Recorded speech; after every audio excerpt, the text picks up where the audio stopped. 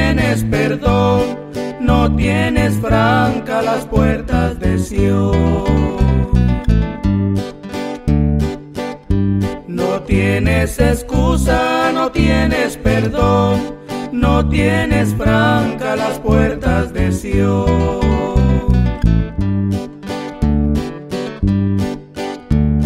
Si Jesucristo viniera este día, ¿cuál es tu excusa que vas a decir?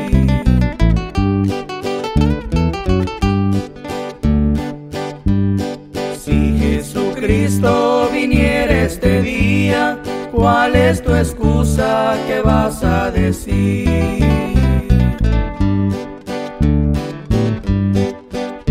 No tienes excusa, no tienes perdón, no tienes franca las puertas de Sion.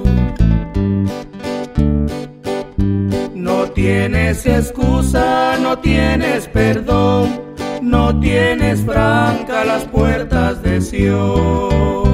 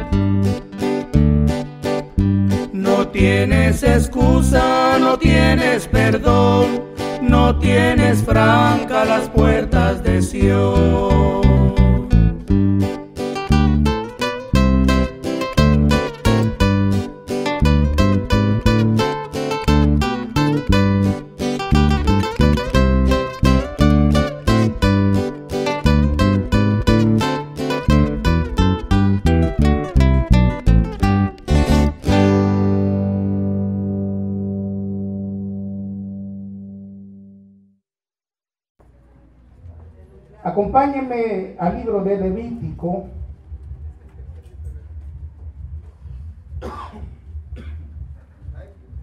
Vamos a ir a Levítico capítulo capítulo 6. Levítico capítulo 6, estaremos leyendo el versículo del 8 al 13. Amén. Levítico 6, del 8 al 13. Leemos la palabra del Señor. ¿Lo tenemos todos? Amén. Y dice de esta manera, así, en el nombre del Padre, del Hijo y de su Santo Espíritu. Y dice así, el fuego arderá continuamente en el altar, no se apagará Perdón, el, versículo 8 dijimos, ¿verdad? Ok. Habló aún Jehová a Moisés diciendo, manda a Aarón y a sus hijos y diles, esta es la ley del holocausto. El holocausto estará sobre el fuego, encendido sobre el altar toda la noche, hasta la mañana el fuego del altar arderá en él, y el sacerdote se pondrá su vestidura de lino y vestirá calzoncillos de lino sobre su cuerpo.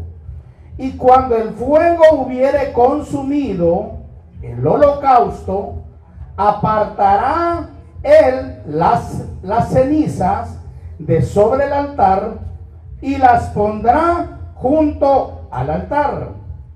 Después se quitará sus vestiduras y se pondrá otras ropas y sacará las cenizas fuera del campamento a un lugar limpio y el fuego encendido sobre el altar no se apagará, sino que el sacerdote pondrá en él leña cada mañana y acomodará el holocausto sobre él y, y quemará sobre él las grosuras de los sacrificios de paz.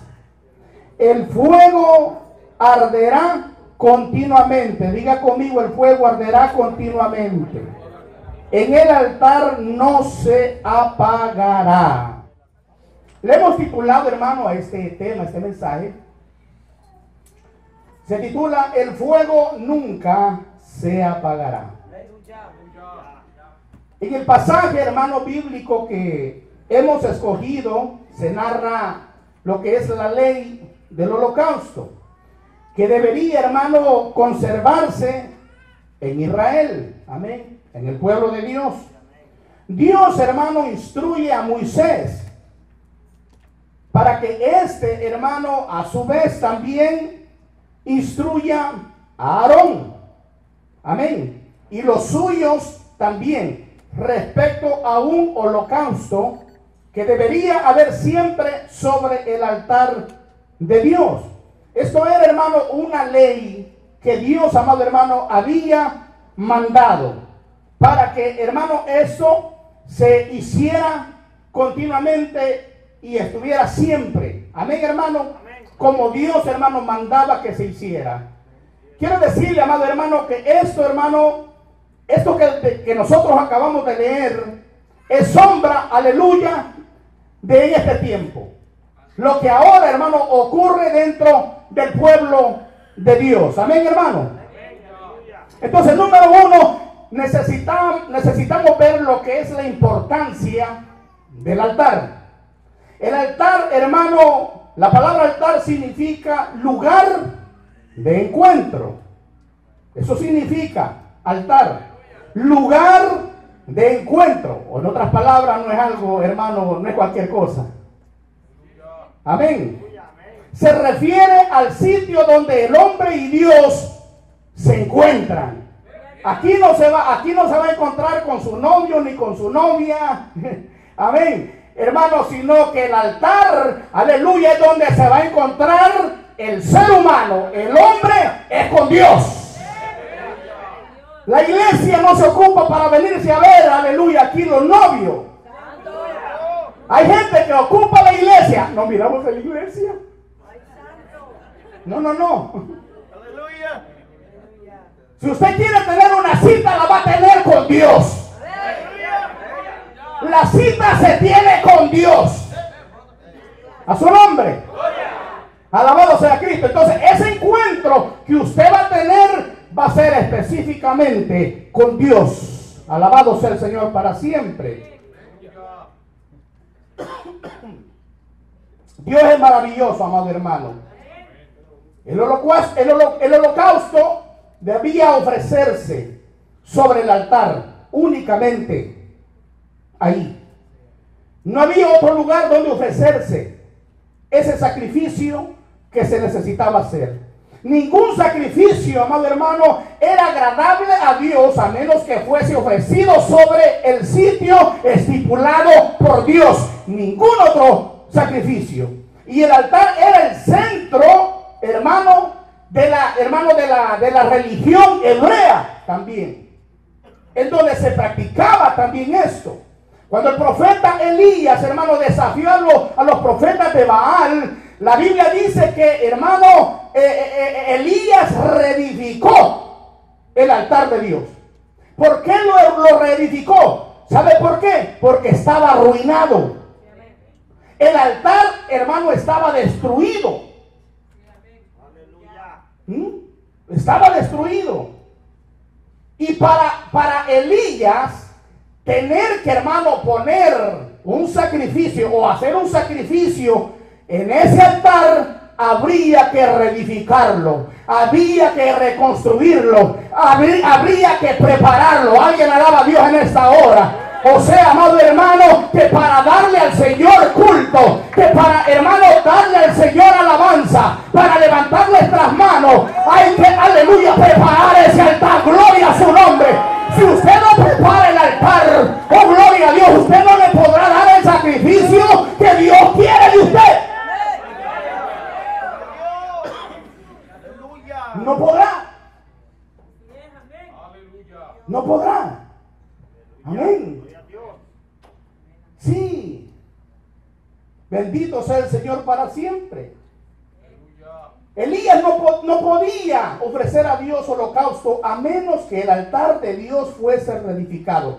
Quiero que vaya, vamos, vamos rápidamente. Miren lo que nos, nos habla. Fíjese bien, para que usted mire. Aleluya, por medio de la palabra. En el capítulo 18, versículo 30, para que se dé cuenta. Alabado sea Cristo. Entonces dijo Elías a todo el pueblo, acercaos a mí. Y todo el pueblo dice, se, se le acercó a él. Y él, ¿qué cosa dice? Arregló el altar de Jehová que estaba, ¿cómo dice? Arruinado.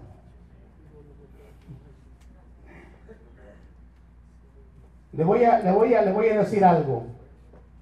Si usted considera que su altar está arruinado, comienza a arreglarlo. Le pregunta a usted ahora, ¿qué de su vida? ¿Mm? ¿Qué de su vida, amado hermano? ¿Ah? Es un altar donde se adora a Dios. Piense un poquito. Es un altar donde se adora a Dios. En otras palabras, presenta tu cuerpo o tus miembros en sacrificio vivo, santo y agradable a Dios. O sea, hermano, es su cuerpo. Es su cuerpo. El altar de Dios.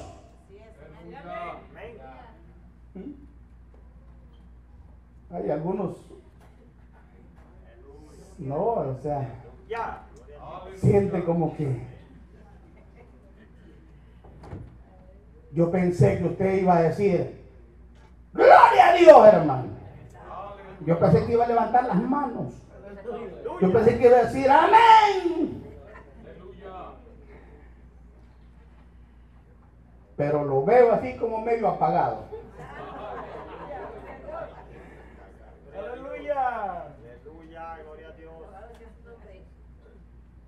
Bendito sea el Señor. Es un altar donde Dios y usted se encuentran. ¿Cómo está tu encuentro con Dios? ¿Cómo está tu encuentro con Dios? ¿Será que, ¿Será que te has encontrado con Dios de tal manera que hay fuego de Dios en ti? ¿Será que Dios ha encendido fuego en tu vida? Eres una llama encendida caminando.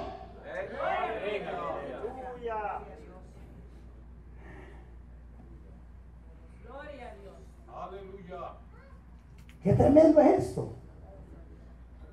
El altar siempre estaba ocupado con un sacrificio, hermano. Siempre. Le pregunto yo a usted, ¿qué tan ocupado usted mantiene ese altar? ¿Qué tan ocupado usted lo mantiene? Mira, amado hermano, todas las tardes, cuando el sol se ponía, se ofrecía un holocausto a Dios sobre el altar. Un holocausto, amado hermano, que hermano duraba toda la noche hasta el día siguiente. Y otra vez en la mañana habría que, hermano, otra vez ponerle, aleluya, leña al altar para mantenerlo encendido, alabado sea Cristo, y en la noche igual, de tal manera que el altar estaba día y noche, gloria al nombre del Señor, encendido, alabado sea Cristo.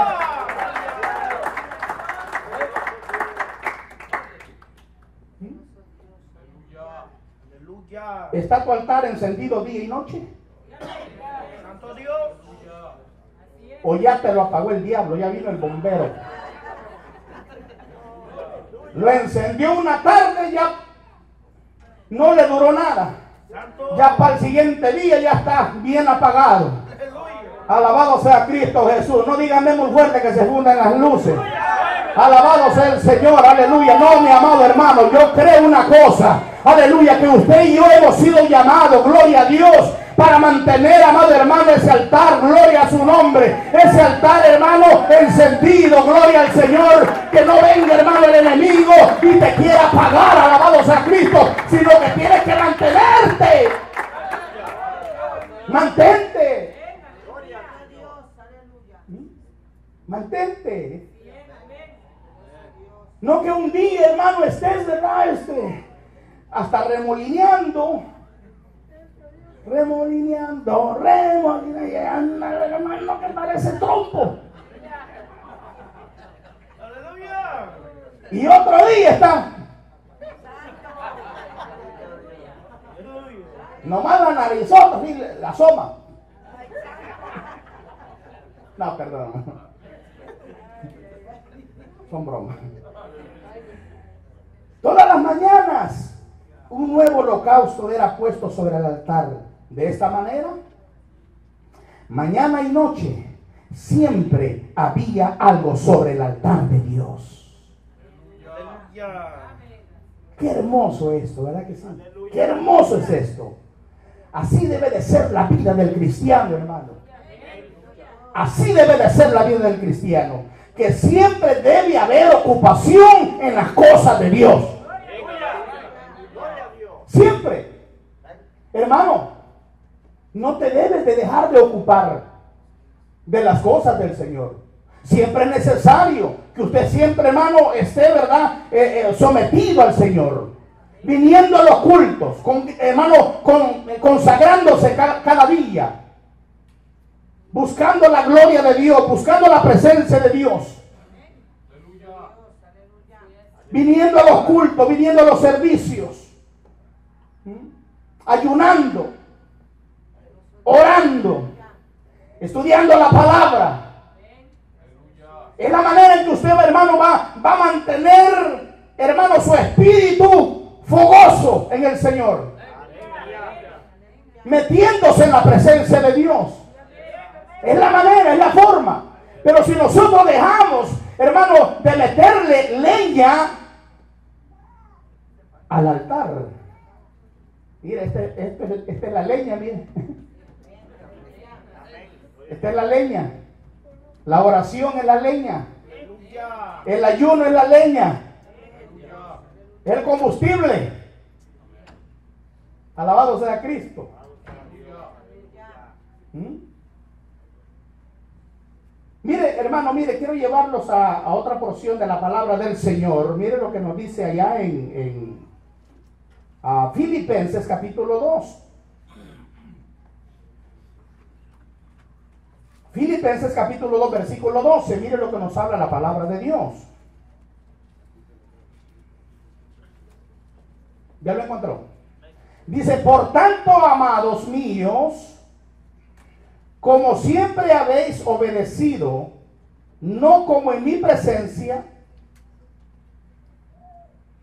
solamente, ¿cómo dice? Solamente, sino mucho más ahora en mi ausencia, dice, ocupaos, ah, dígalo fuerte, ocupaos en vuestra salvación con temor y temblor. Así de que, ¿cuál es la voluntad de Dios? Que nos ocupemos. ocúpate en las cosas del Señor. ¿Mm? Ocúpate en las cosas del Señor. También nos habla también la palabra ya en primera de Timoteo. Vamos a ir a primera de Timoteo para que vea lo que nos habla también la Biblia. Primera de Timoteo capítulo 4, versículo 13. Y vamos a saltarnos también al 15. Primera de Timoteo capítulo 4 versículo 13. Dice, entre tanto que voy, ocúpate en qué cosa? Ah, en la lectura. Pero no es cualquier lectura, ¿va? ¿De qué lectura? ¿A qué lectura se refiere? A la palabra de Dios, a todo lo que concierne a, a lo espiritual. Podría ser la palabra de Dios, podrían ser quizás libros, hermanos, que le van a ayudar, le van a edificar en su vida espiritual. Pero, hermano, lo más importante es la palabra de Dios porque es la que nos va a nosotros a dar vida. Es la palabra de Dios. Por eso, por eso aquí el apóstol, el apóstol Pablo, claramente le dice a Timoteo, entre tanto que voy, ocúpate en la lectura la exhortación y la enseñanza. ¿Ah? Mire qué importante es esto. Aquí nos habla, hermano, que debe de profundizarse en la palabra. Usted debe de escudriñar la palabra, no solamente de leer, sino que debe de profundizarse en la enseñanza. Ok, vamos a ver. Ah, y usted tiene que tener hambre, hermano, de conocer, de saber más. ¿Cuántos lo están haciendo? Yo pensé que iban a levantar las manos todos.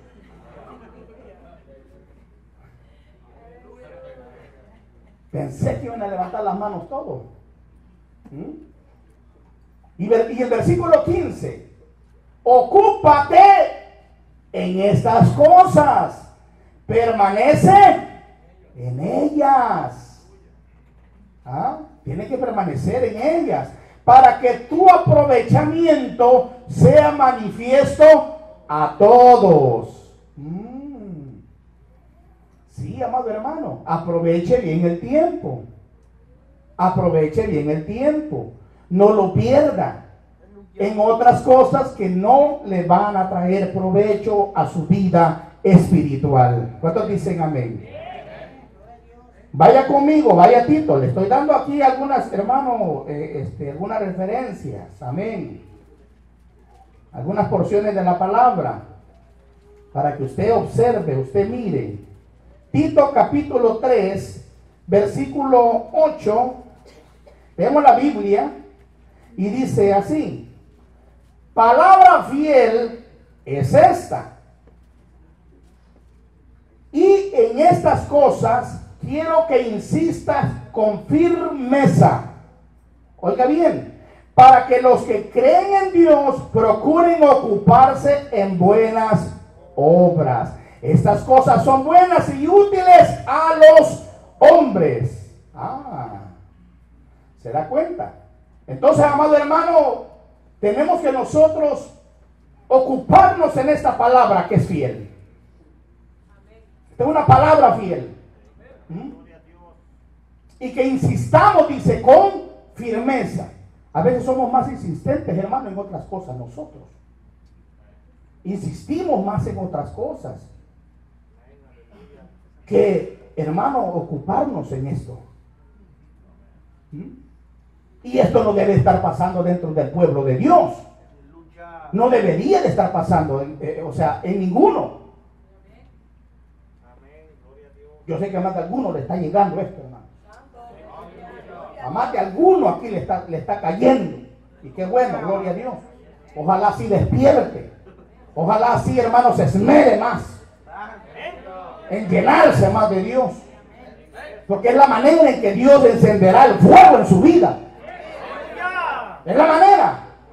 No hay otra manera. ¿Entiende? Porque a veces, hermano, nos podemos llenar de otras cosas. ¿Ah? Películas mundanas. Música mundana. ¿Mm? Novelas. ¿Ah? Programas, hermano, medios diabólicos. Mirando, hermano, una de depravación horrible. ¿Mm? En todos los medios. Porque estamos en tiempos, hermano, de que ahorita la depravación,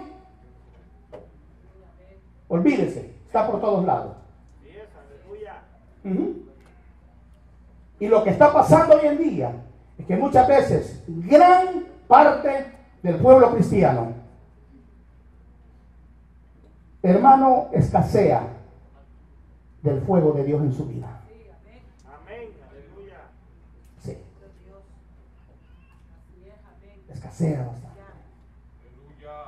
Ha entrado una gran, hermano, escasez espiritual, una gran pereza espiritual que no se puede levantar. Pero es tiempo. Es tiempo que arregle ese altar. Arréglelo porque está arruinado. Está arruinado. Comience de nuevo. A su nombre.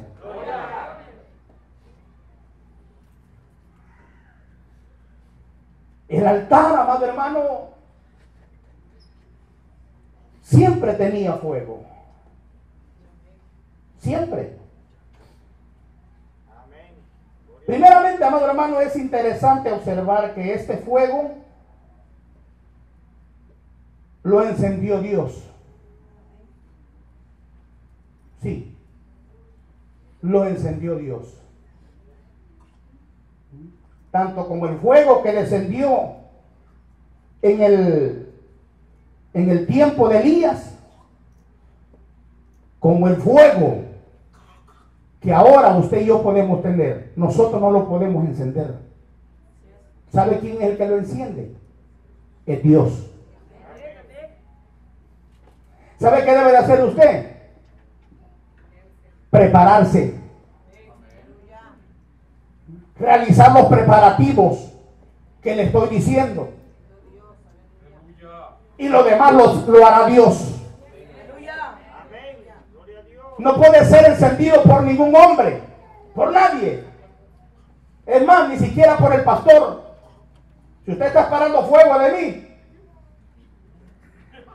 no espere, hermano, fuego de mí. El pastor me va. No, hombre, hermano. Si yo estoy procurando mi propio fuego. Yo estoy procurando, estar, ahí estoy Avivate, avivate. Así estoy. Avivate, no es hombre, avivate. Y usted quiere que le encienda el suyo. No, hombre, hermano. No voy a enojar ahorita. Es de cosa, hombre.